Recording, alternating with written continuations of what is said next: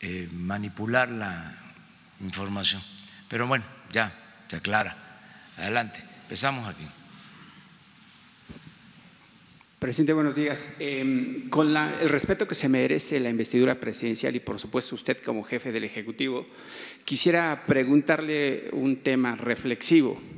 Eh, ¿Le tocó bailar con la más fea, presidente? Luego de que pues, los sexenios pasados dejaron el país en llamas, saqueos, eh, desvío de fondos, niños atendidos con agua en lugar de quimioterapias por los gobiernos del PRI y el PAN obviamente también medios de comunicación que recibían chayos, reporteros y columnistas que pues obviamente están más que evidentes. ¿Qué eh, me puede contestar si le tocó bailar con la más fea o no, presidente, y si se arrepiente de ser jefe del Ejecutivo, por favor?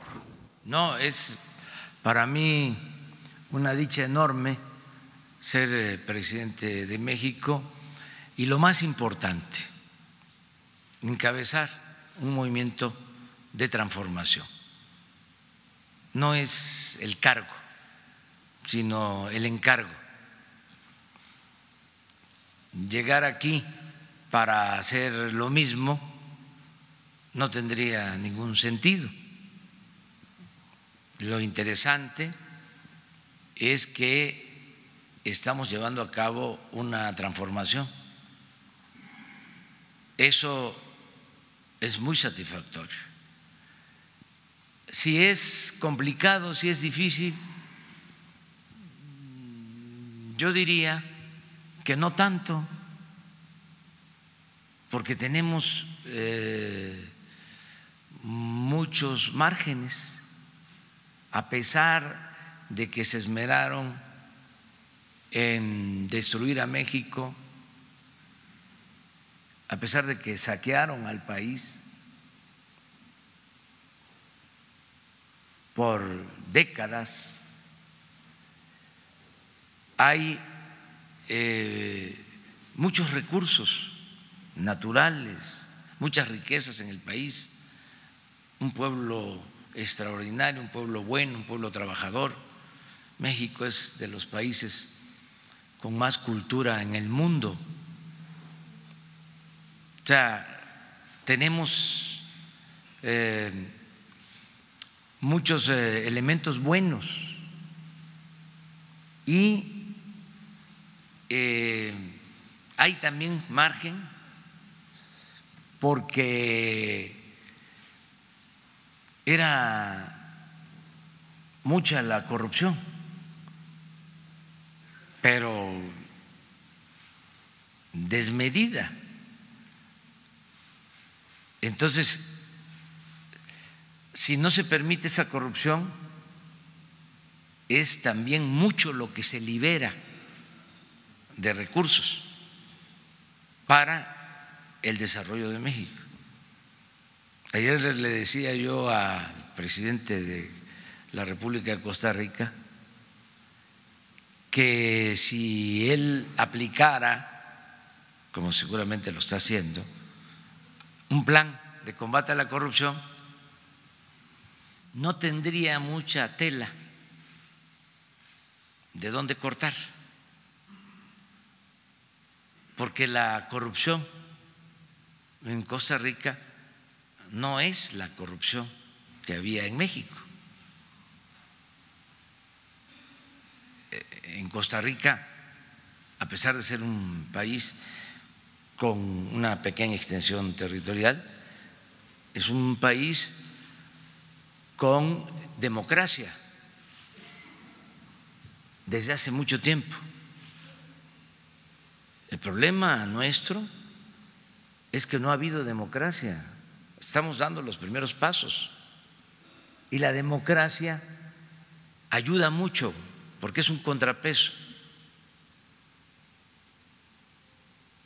La democracia no eh, significa el cuerno de la abundancia, pero lo mucho o lo poco que se tiene se distribuye con justicia. Nadie se siente absoluto como sucedía en nuestro país, que eran como monarquías seccionales y hacían lo que se les venía en ganas, es decir, no había ningún límite.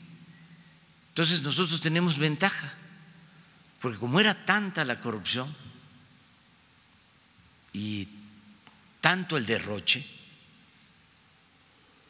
entonces al acabar con la corrupción, al terminar con el derroche, imagínense cuánto dinero se libera. Les ponía yo el ejemplo de la presidencia, de ejercer tres mil millones el año pasado a ejercer 800 este año, 2.200. Entonces, esto permite poder atender a la gente, a los olvidados, a los pobres, a los marginados. Se están destinando fondos como nunca en favor de los pobres de México. Entonces es muy satisfactorio y por eso no es difícil, se puede. Imagínense este, cuando se venda el avión presidencial, que ya estamos a punto de concretar esa operación, 72 aviones y helicópteros, todos los ahorros. Eh, todo lo que se recupere de corrupción que se destine al instituto para devolverle al pueblo lo robado. Tenemos muchas ventajas y vamos bien. Desde luego, estos cambios pues producen inconformidad que hasta eso no mucha. Claudio X González, Reforma, este, algunos otros, eh, los partidos que además eh, es legítimo que estén en contra, que sean opositores a nosotros, pero nada este, significativo, nada que me quite el sueño. Eh, al contrario, estoy muy eh, entusiasmado y con el propósito de sentar las bases lo más pronto posible para la transformación. Todo esto que hemos hecho, las reformas a la Constitución que se han llevado a cabo, son como una nueva Constitución. El que sea delito grave, la corrupción, el que sea delito grave la facturación falsa, eh, la creación de empresas fantasmas, que se cancele la condonación de impuestos, la ley de austeridad, la revocación del mandato, la consulta popular, el que se apruebe eh, terminar con los fueros al presidente, que se pueda juzgar al presidente en funciones por corrupción, porque desde hace 170 años, desde la Constitución de 1856, el presidente solo puede ser juzgado por traición a la patria. Entonces, todos estos cambios el terminar con los fueros. Es un marco legal distinto. Le estamos dando marcha atrás, no a todo, pero sí a lo que más eh, dañaba y se eh, llevó a cabo en el periodo eh, neoliberal.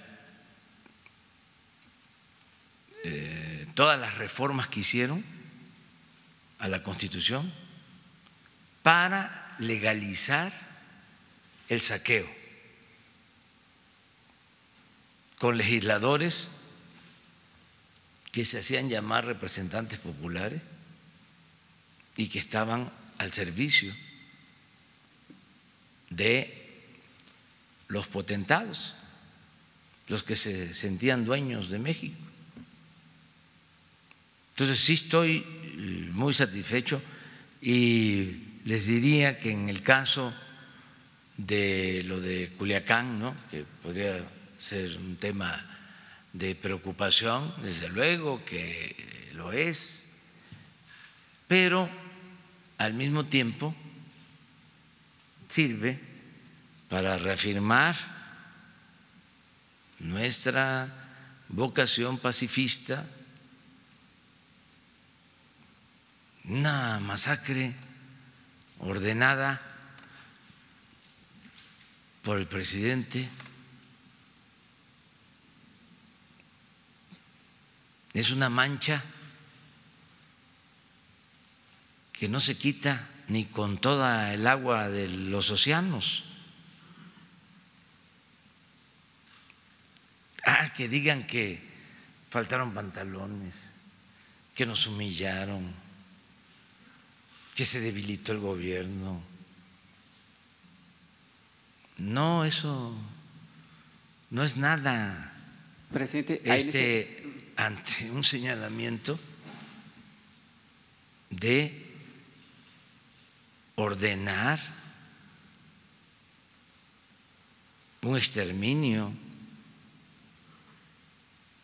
Eso sí, yo no sé cómo pueden dormir,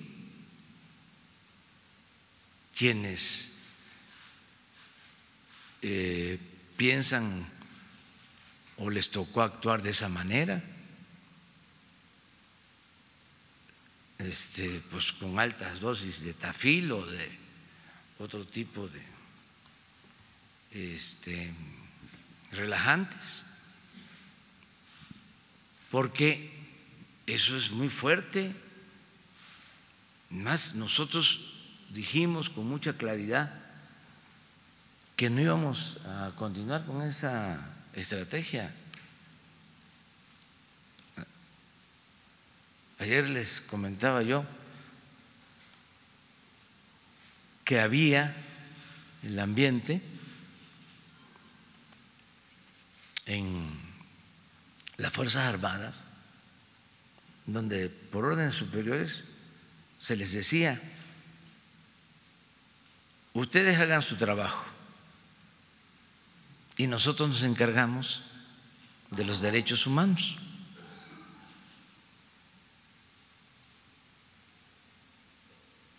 Entonces, los mismos que ahora nos cuestionan por la decisión que tomamos, eh, pensaban de esa manera, fascistoides. Entonces, ayuda mucho todo esto para decir, a ver, ¿que no hay otra manera de enfrentar el problema de la inseguridad y de la violencia? Claro que sí, y lo estamos aplicando. Y hacen una encuesta de reforma, ¿no? 400 personas por teléfono y llegan a la conclusión que hay que cambiar la política de seguridad. pues aprovecho para decirles a los que piensan de esa manera que no vamos a modificar la política en materia de seguridad, que no vamos a apostar a la violencia, a la guerra, al exterminio, que vamos a respetar las vidas, que apostamos a la paz y que le pedimos a todos los mexicanos, a todos, de manera muy especial a los que están en malos pasos, que piensen que ese no es el camino, que eso no es vida.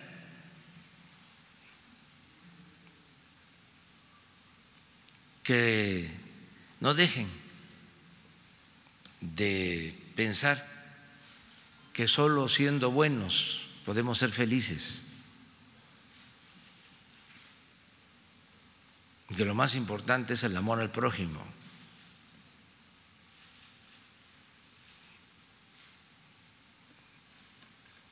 Y no hay que vencer, hay que convencer. No vernos como enemigos a destruir, sino si acaso como adversarios a vencer. Y que nos portemos bien todos. Y ahí vamos a ir avanzando en nuestra estrategia ¿En qué consiste nuestra estrategia? Lo repito, en que haya trabajo, en que haya mejores salarios, en que haya bienestar, en que se atienda a los jóvenes, en que se fortalezcan los valores culturales, morales, espirituales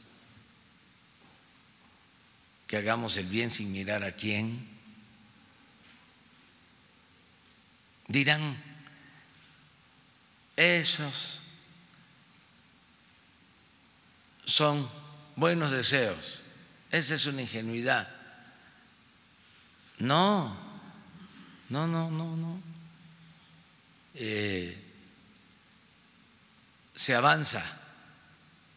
Hay que crear una nueva corriente de pensamiento hay que procurar el bienestar del alma, no solo el bienestar material. Y estamos avanzando porque la gente humilde tiene más apoyo, se está avanzando porque se atiende a los jóvenes, se avanza porque no se permite la corrupción, se da buen ejemplo y porque vamos eh, a ir eh, aislando cada vez más a los delincuentes. ¿Cómo se les aísla?